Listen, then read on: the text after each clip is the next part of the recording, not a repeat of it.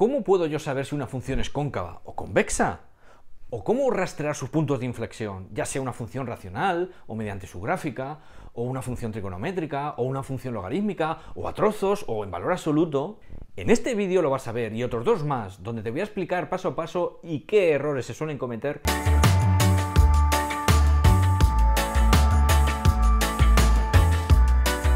Hola, ¿qué tal? Estudioso y estudioso de las mates. Estáis en Atriaspen, tu canal de matemáticas, y yo soy José Peláez Torres. No os podéis perder absolutamente nada de este vídeo, nada, nada de nada. Bueno, vamos a calcular los puntos de inflexión de una función, en este caso racional, y vamos a ver la concavidad, o vamos a ver la concavidad de una función racional. Eh, en primer lugar, vamos a ver el concepto de cóncava y convexa desde el punto de vista gráfico. Como podéis observar aquí, tenemos una curva entonces, si nosotros cogemos cualquier par de puntos de esa curva y los unimos mediante una recta, si esa recta nunca pasa o sobrepasa la curva por debajo de la misma, por debajo de la curva, se le dice que esta curva es convexa. Si por el contrario tuviéramos este estilo de curva y cogemos otro par de puntos, los que queramos, y los unimos mediante rectas, y estas rectas nunca pasan por encima de la gráfica, estaremos hablando de una función cóncava. Bien, vamos al primer ejemplo. En el primer ejemplo, como podéis observar, tenemos una función racional. Y lo primero que tenéis que hacer es hallar el dominio de la función. El dominio de esta función serían todos los reales menos 1. Posteriormente haré un vídeo de dominios donde he visto que solicitáis bastante. Y no os preocupéis que eh, en breve vais a tener un vídeo de dominios. En este caso es todos los reales menos 1. ¿Por qué hago el dominio? Pues el dominio es importante hacerlo porque si en posteriores eh, em, resultados del ejercicio nos diera algún punto que fuera que estuviera fuera del dominio, no tendríamos por qué estudiarlo, porque si está fuera del dominio, ¿para qué lo voy a estudiar? estoy hablando del caso de derivadas eh, con cavidad convexidad. Entonces, lo primero ya lo hemos hecho, el dominio de la función, todos los reales menos 1. Luego hacemos la primera derivada. Para derivar esta función racional tenemos que actuar según las reglas de derivación. Si no os acordáis de las reglas de derivación, cómo se derivan funciones sumándolas o restándolas o, multiplicándolas o dividiéndolas, os voy a dejar aquí una etiqueta donde eh, os digo en un vídeo cómo tenéis que hacerla.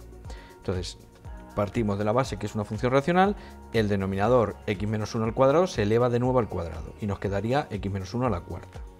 Y en el numerador tenemos derivada del primero, 3x cuadrado, por el segundo sin derivar. Cuando digo el segundo me refiero al denominador sin derivar.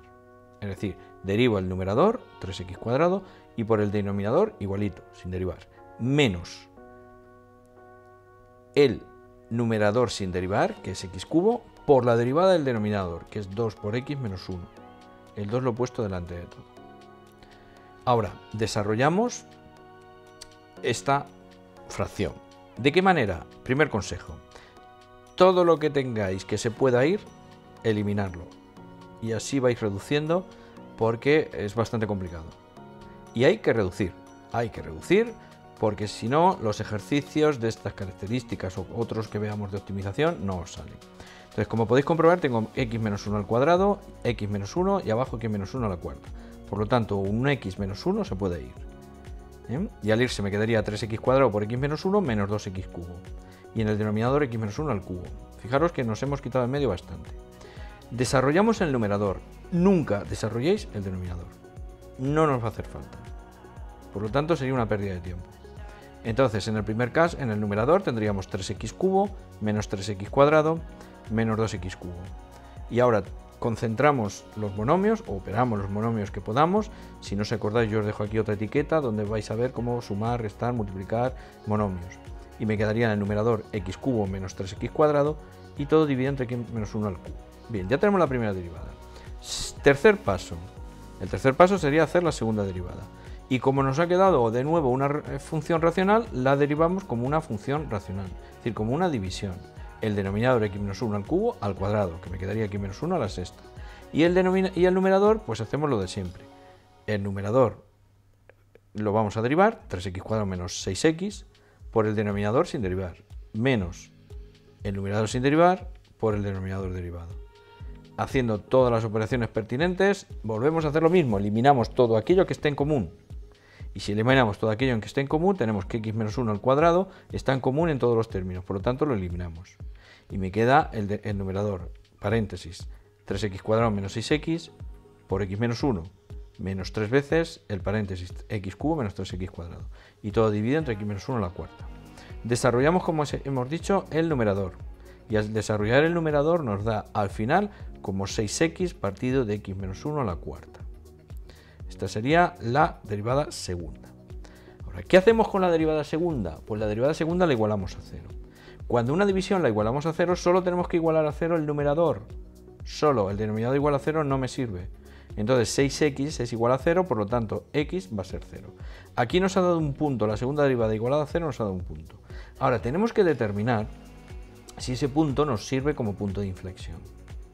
¿Y qué es un punto de inflexión?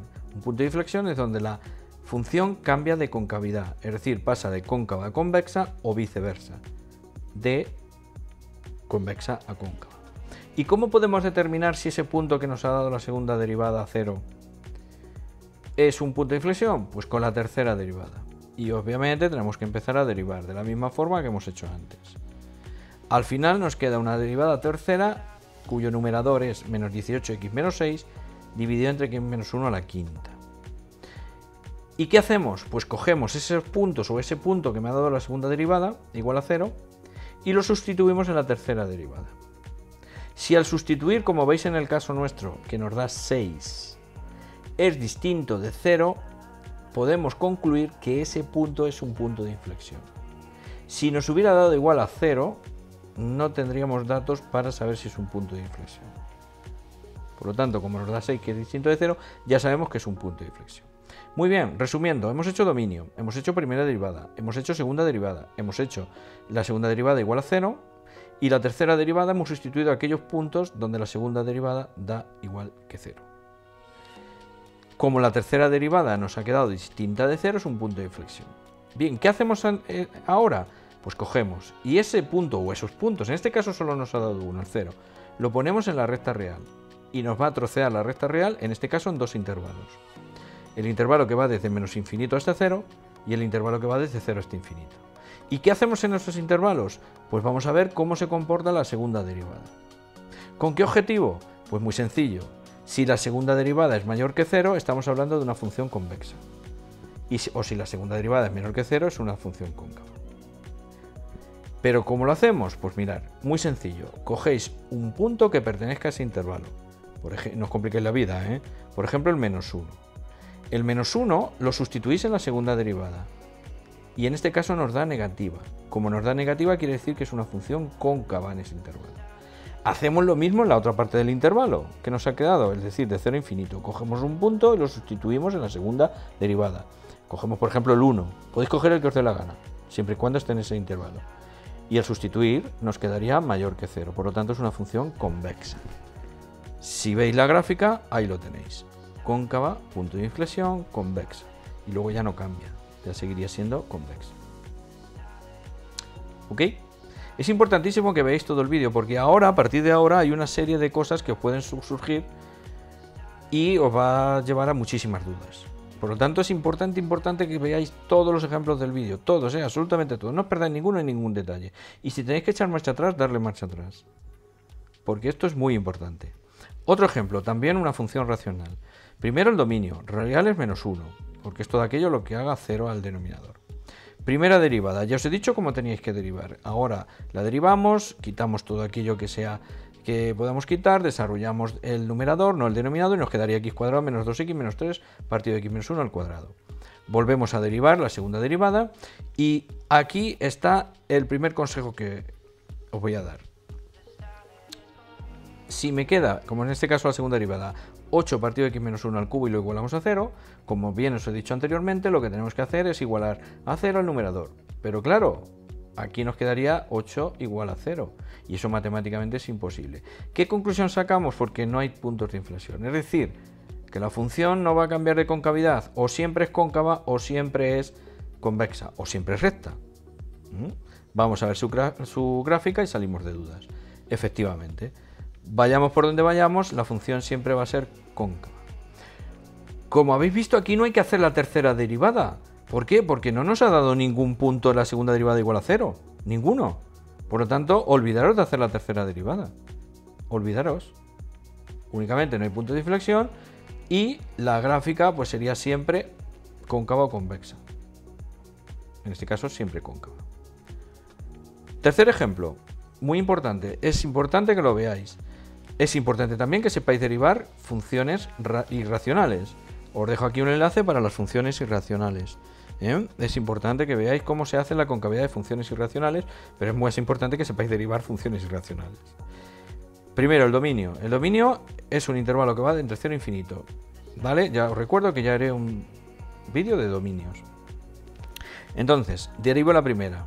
Como es una suma, derivo primero el x, que es 1, y luego derivo la función irracional. Me queda raíz de 2 por un medio por x elevado menos un medio. Bien, yo la he derivado como una función eh, potencial, es decir, he puesto raíz de 2x elevado a un medio. ¿Mm? La he derivado de esa manera. Me gusta más derivarla de esa manera. Hacemos la segunda derivada y la segunda derivada me queda menos en el numerador raíz de 2 y todo partido entre 4 por raíz cuadrada de x al cubo. Y esto lo igual a 0. Y aquí a pasa lo mismo, raíz de 2 igual a 0. Por lo tanto, eso es imposible, es un imposible matemático. Conclusión, no hay puntos de inflexión. Vamos a ver qué ocurre. En su gráfica, efectivamente, siempre es cóncava. No hay una, un valor donde nos determina, o varios valores donde determina un cambio de concavidad, como por ejemplo ocurría en el primer ejercicio.